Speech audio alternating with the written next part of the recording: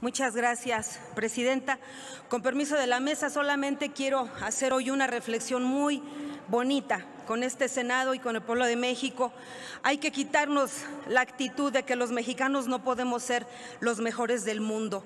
El día de ayer un grupo de senadores fuimos invitados por la Secretaría de la Defensa Nacional a recorrer las instalaciones del nuevo aeropuerto Felipe Ángeles. Allí encontramos que miles de civiles y militares trabajan día y noche los siete días de la semana con un encargo, que el próximo 21 de marzo se inaugure la primera fase del Aeropuerto Internacional Felipe Ángeles. Aquí encontramos que en esta obra trabajan 1.270 militares, de los cuales 80 son ingenieros constructores y 33 mil civiles. Este predio que alberga tanto las instalaciones militares como las civiles se extiende a lo largo de más de 3.700 hectáreas.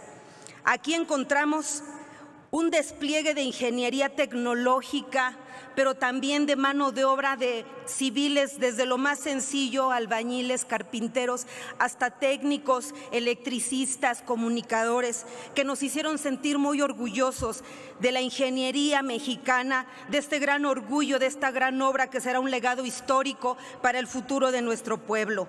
Encontramos una torre de control en extraordinarias condiciones. Una semejante a la que tenemos existe en Turquía con un costo de más de 10 mil millones. Nuestros ingenieros mexicanos lo lograron hacer con 600 mil millones y que por cierto no tuvo prácticamente ningún desequilibrio con el sismo que ya vivió. Estamos muy orgullosos de encontrar que este gran y extraordinaria obra monumental tiene además de esta torre de control de avanzada ya un 78% de, de trabajo realizado. A este lugar se va a llegar por el circuito mexiquense, tiene una infraestructura para atender a partir de marzo 28 posiciones de contacto para aeronaves, 12 remotas, 5 de plataforma abierta. En total, Estarán disponibles 42 posiciones para aviones. Cuenta además con 18 edificios. Tiene una huella de 100 mil metros cuadrados, los cuales ya llevan en construcción 384 mil 128 metros cuadrados. Debajo del piso hasta el nivel 10 encontramos que hay sótanos.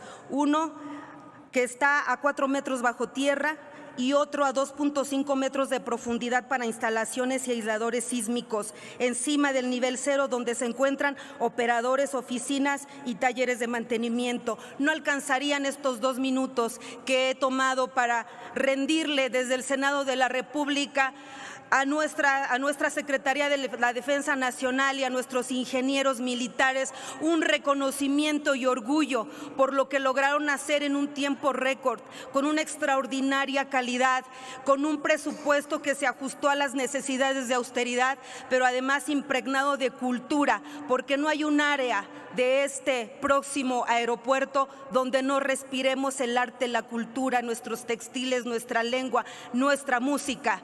Enhorabuena por el pueblo de México, enhorabuena por nuestras Fuerzas Armadas y enhorabuena por nuestro gobierno. Desde aquí un saludo y muchas gracias.